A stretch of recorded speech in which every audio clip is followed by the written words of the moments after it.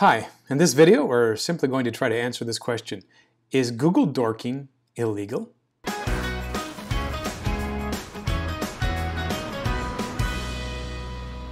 Now Google dorking is a process where you can take the Google search engine and turn it into a hacking tool. So if you'd like to see how to do that, look at a previous video and I'll leave the link here in the alerts. So the question is, if Google has provided a way to find things that were not intended to be shared, does that make it now a public access? And so that's the question. Is this an illegal process now? So dorking or searching with Google hacking is found in this database online called the Google Hacking Database. And so you can find things with precise searches such as credit card numbers, usernames and passwords, maybe social security numbers, financial information, company plans, basically any kind of spreadsheet, PowerPoint, document, any kind of file that was not meant to be shared. And so it is accidentally put on the internet and Google is able to find it. With these Google searches, you can probably discover what they are. So here's the link if you want to find out where the Google Hacking Database is, or like I said, go check the other video of how to do some of these searches. So now the question I phrased at the beginning is, are these Google dorks or Google searches, Google hacking searches, are they legal? So the first question that would come to mind then is, is it illegal to look at a document that was mistakenly published on a public web server? I mean, that's what web servers are for, right? Is to share information. And you have to go to uh, great lengths to make it actually work. So if you've put something on your web server and it's your mistake, does that bring the culpability to the person that's looking at it? So the second question is, is it illegal to use somebody's password to enter a computer system? So those are two different questions, and I think, I believe that there might be two different answers. Now, I'm not a lawyer, so what I am saying here is just my analysis, so don't please take your uh, case to court by anything I say. If you are in trouble for Google dorking, then go hire a lawyer. My point of this video is to provide a warning for people that would take this easy to use tool and put it to criminal use.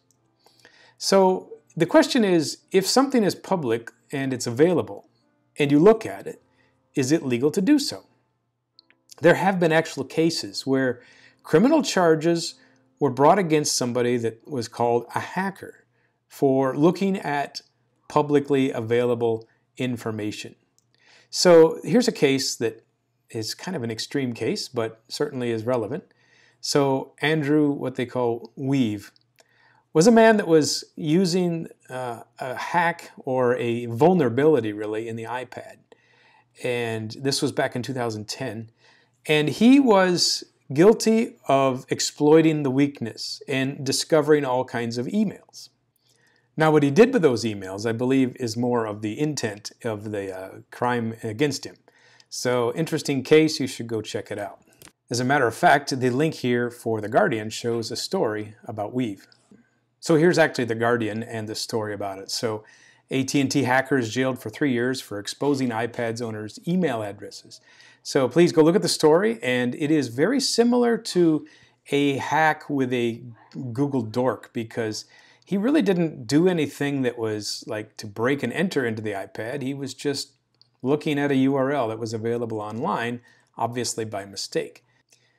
Anytime that it comes to a question of computer security and illegal entry into a system, you're going to have this law come up the Computer Fraud and Abuse Act, the CFAA. So it's a broad law. With a broad stroke, it makes any unauthorized access into a computer system a crime. So the CFAA was used in cases where people have obtained somebody else's username and password, entered into a system, obtained information, and of course that was a crime, even though the information was easily accessible. And so the intent and the trespassing law here is what CFAA is all about. So let's go to the best legal authority we can find. Uh, let's look at Wikipedia. This is actually a really good resource because of the links that are at the bottom of the page. So the CFAA is listed here, a description, some of the background of it, the different extensions to the law. But the part that you would find interesting if you are contemplating using Google Dorking for your own purposes is to look at some of the criminal cases here. So you can see every one of these cases involves somebody going into a computer system. The circumstances are slightly different, but these seem to be landmark cases. So they have a, a section here called criminal cases and then further down called civil cases. So you can check through all of these.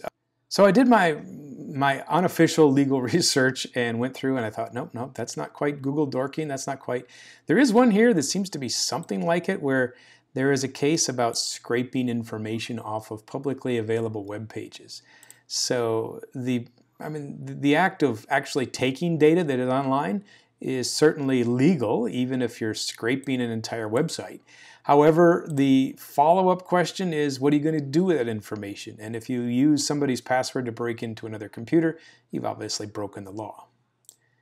Here's another resource that's pretty easy to understand. Uh, Reddit the best legal advice on, online, right? But it's a great question. Is it illegal to use Google Dorks? And so check it out. I think you're going to find some of the same answers here, basically what I've said. So yes, you're authorized to use filters to make your research. No, you're not authorized to search for dorks or referencing websites with known vulnerabilities and launch attacks on each of them. So I think that's kind of the idea here. It's not illegal to look, it's illegal to act. So if you find somebody's sticky note on the floor in the hallway that says my password and my username, it's, okay to pick it up and look at it. It's not okay to go ahead and log in with that system and drain their bank account. Finally, I thought this was humorous. I looked at a research uh, that from directly from Google search help, and somebody asked, "Is it illegal to use Google Dorking?" Uh, I'm trying to create a form, but he's trying to do some stuff. So the replies here are, "Don't misuse our services," uh, and then of course is Google dorking a misuse of our service? And let's leave it down at this. The answer is finally, we're not employees, we're, we're, not, in, we're not attorneys. Don't ask us, go get your own lawyer. So I guess I'll have to leave you with that same advice since I'm not a lawyer. I can't give you real advice uh, legally. Uh, that would be malpractice, obviously. So don't do it. If you think it's probably illegal, if you are uh, caught by doing something illegal, then go hire a lawyer. Thanks for watching. If you'd like to see some of the other videos that I've created on computer security, you can see all things related to hacking and penetration testing and securing your database. So check it out in the playlist.